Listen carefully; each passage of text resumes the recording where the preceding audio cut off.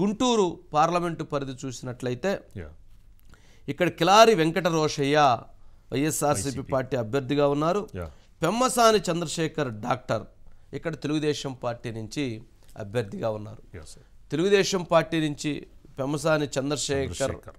అభ్యర్థి గెలుపు ఖాయమైపోయింది. పెమ్మసాని చంద్రశేఖర్ గెలవటం అనేటువంటిది తథ్యంగా మహా తీర్పులో స్పష్టంగా కనపడుతుంది డాక్టర్ పెమ్మసాని చంద్రశేఖర్ యొక్క వేగం పార్టీకి ఉన్నటువంటి బలం జనసేన పార్టీ బ కలవటం భారతీయ జనతా పార్టీ యాడ్ అవటం కూటమి యొక్క బలంతో పాటు వ్యక్తిగతంగా తను ఒక వేగవంతమైనటువంటి రాజకీయాలను ప్రదర్శిస్తూ ముందుకు వెళుతున్నటువంటి నేపథ్యంలో. పెమ్మసాని చంద్రశేఖర్ గెలుపు తథ్యంగా కనపడుతూ ఉంది.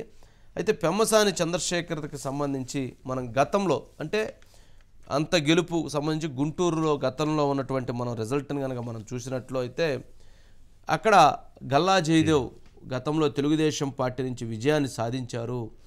గల్లా జయదేవ్ ఐదు లక్షల ఎనభై ఏడు వేల తొమ్మిది వందల పద్దెనిమిది ఓట్లు టీడీపీకి రావటం జరిగింది. వైఎస్ఆర్సీపీ పార్టీకి ఐదు లక్షల ఎనభై మూడు వేల ఏడు వందల పదమూడు ఓట్లు. అంటే నాలుగు వేల ఓట్ల నాలుగు వేల రెండు వందల ఐదు ఓట్లతో మాత్రమే ఆ రోజు గల్లా జయదేవ్ స్వల్ప మెజారిటీతో గెలవటం జరిగింది. కానీ అక్కడ జనసేన పార్టీకి అప్పట్లో శ్రీనివాసరావు బోనబోయి బోనబోని శ్రీనివాసరావు గారు కంటెస్ట్ చేస్తే.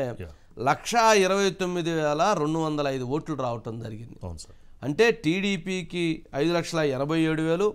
ఈ లక్షా ఇరవై తొమ్మిది వేల ఓట్లు కనుక కలిపినట్లయితే తెలుగుదేశం జనసేన పార్టీకి ఏడు లక్షల పదిహేడు వేల ఓట్లు సుమారుగా వచ్చేటువంటి అవకాశం ఉంది.